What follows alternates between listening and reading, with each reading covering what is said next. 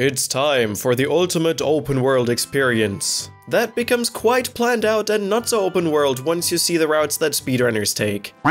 Limitless options, and they still all do the same. This week we'll have a look at the endless ways of Carpal Tunnel, the game.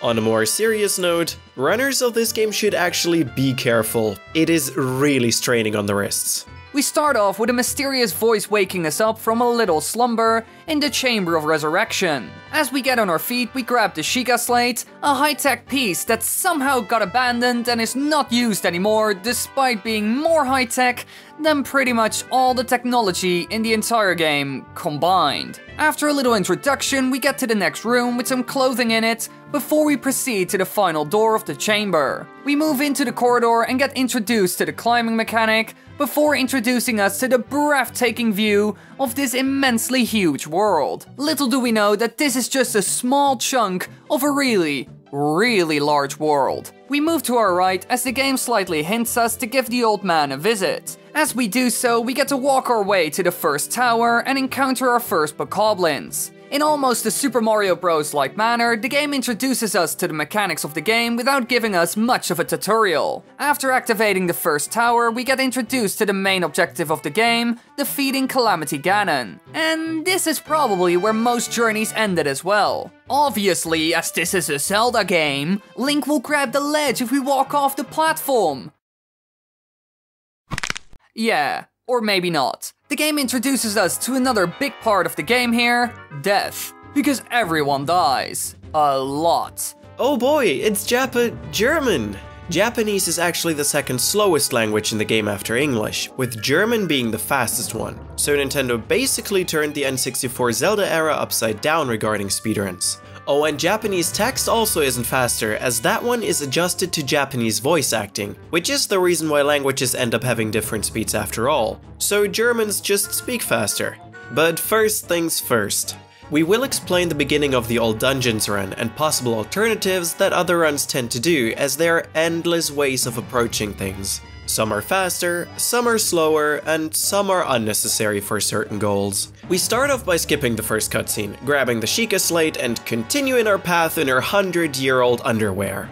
A glitch that is used a lot in all runs is the whistle sprint. You hold the left control stick forward, hold down the bottom D-pad button in order to continuously whistle, and mash B at the same time to get into a sprint and cancel whistling, which then cancels your sprint, ultimately giving you a close to sprinting speed without draining any stamina. The downside to this is, you need to control both control sticks with your index fingers, as your thumbs are occupied already.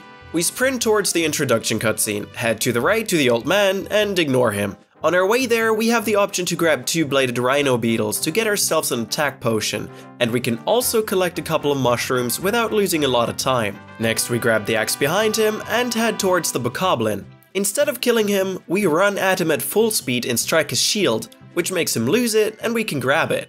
Be aware, this does not work on Master Mode.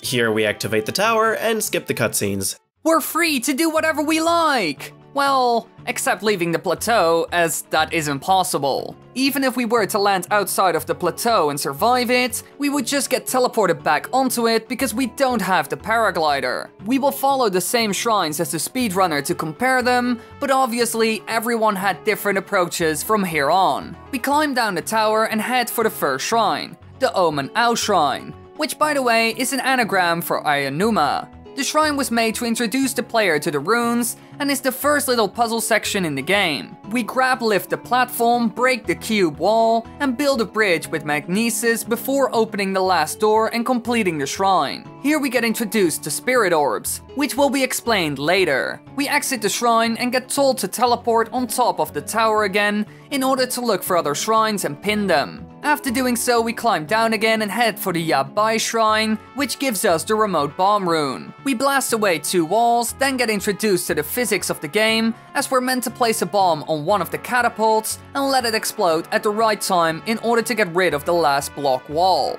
Now we exit, go into the snow area after cooking some food so we don't freeze to death, and solve a little puzzle by building a bridge with a metal platform. On the other side, we head up the mountain and go into the third shrine, Keh Namut.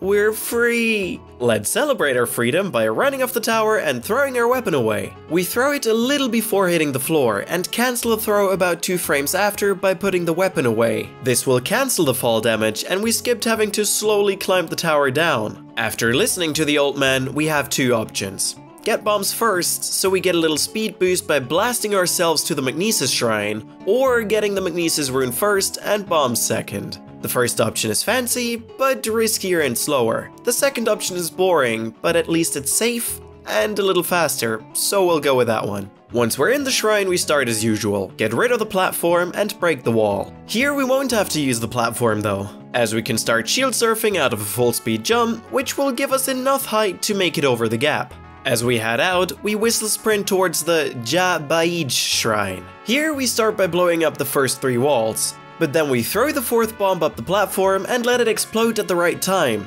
This will hit the wall at the bottom and open up the way to the orb. Now we hit plus and minus right after to get to the map screen without Link's animation of pulling out the Sheikah slate, which only occurs for as long as the player does not have the glider. From here, we teleport to the Shrine of Resurrection and use another advantage of the Whistle Sprint. We can run up slopes that aren't too steep. This is faster than climbing itself, and we get to keep our stamina. We grab three mushrooms on our way, walk a little, and then can use the height advantage to shield surf down again, which is faster than walking, and the shield doesn't get damaged for as long as we're surfing on snow. Once we reach the platform puzzle, we perform another sprint into shield surf to skip this puzzle as well. As we are approaching the hill, we whistle sprint up the first few meters, then perform two climb jumps, whistle sprint again, and then climb jump for the rest. This is done while keeping our hearts filled with mushrooms and Hyrule herb we collected on the way.